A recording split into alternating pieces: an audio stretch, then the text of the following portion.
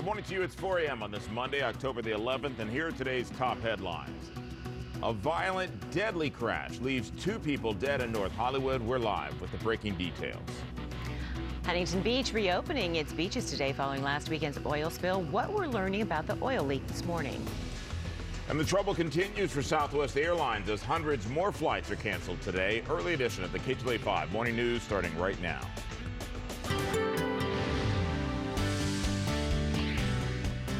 Hey, good morning to you and to you. Good morning. Happy Monday. I'm Chris Shaw.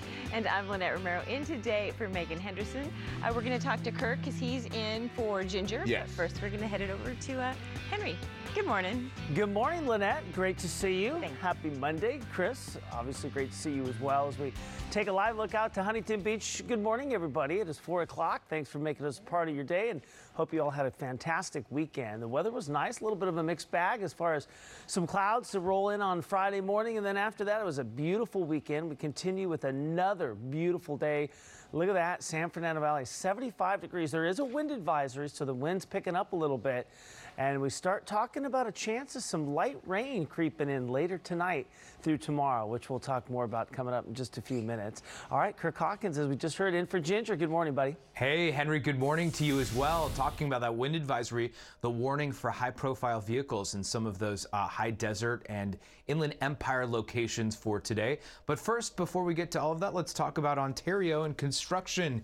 We've got Caltrans busy at this hour. The 10 West between the 15 and Haven, the three right lanes are closed until 5 o'clock this morning. Now we want to give you a look. Speaking of the Inland Empire, the Cajon Pass wide, right now things are looking clear along the along the 15 and the 215. That's the latest on your morning commute at 401. Now back to you.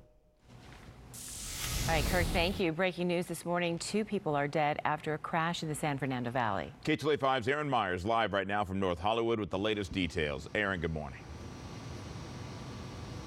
Good morning, Chris. Good morning, Lynette. This was a very violent crash and a very active scene still. I'll step out of the way. You can see the car there behind me, and LAPD investigators are here trying to figure out exactly what happened.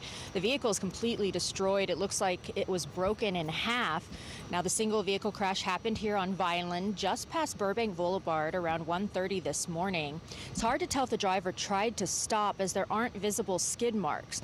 The driver of the vehicle, though, somehow lost control, and it appears to have slammed into a palm tree. When firefighters arrived, they found that vehicle severely damaged and on fire. Two people that were inside were pronounced dead here at the scene. The coroner just arrived here uh, a short time ago and is doing their investigation.